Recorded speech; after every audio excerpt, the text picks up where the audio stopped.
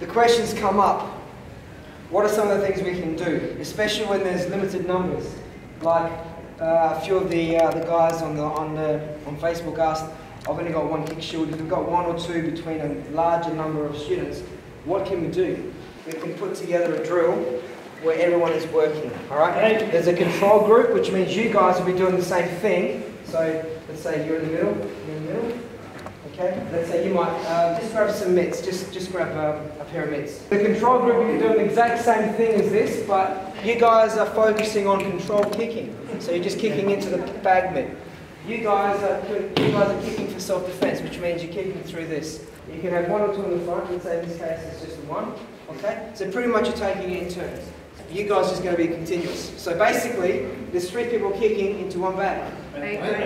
Alright, we got three people kicking into one bag. It's not like one person's kicking and doing instead of 10, or the others were standing around wasting minutes or doing something else. So this, you'll notice now, it'll happen fairly quickly because kick, kick, kick, back to him already. So we have three groups working with the shields, then we have another three groups in the class that are doing the exact same thing, but just holding your mitts. So if there's five in the group, that's fine because you can go round kick, front kick, front kick, round kick. So you guys, at this stage, you're working for control kicking. Control kicking. Make sense? Okay. So let's just do a quick round. So kicks. kicks, Magari, boom, Magari, straight into it.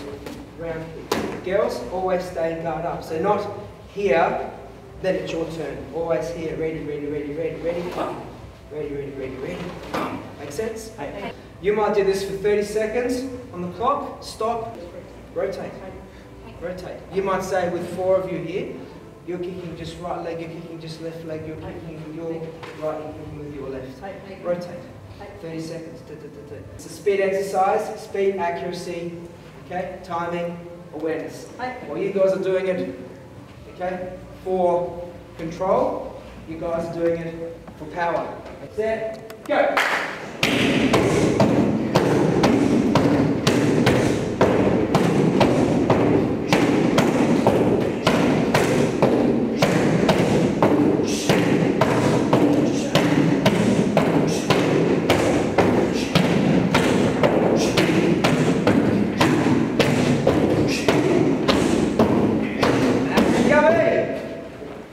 Guys, that was 25 seconds.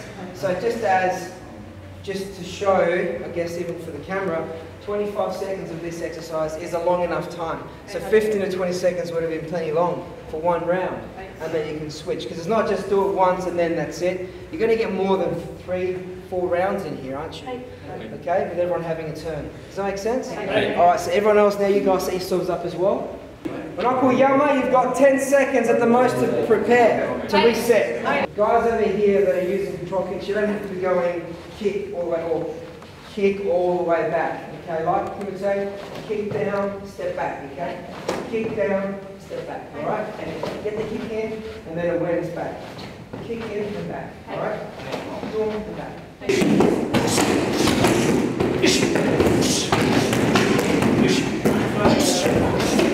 You may change it over.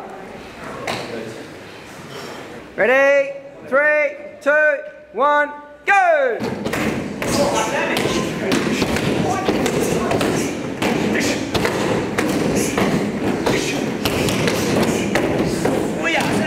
Guard up, guard up. Two, one, and you may.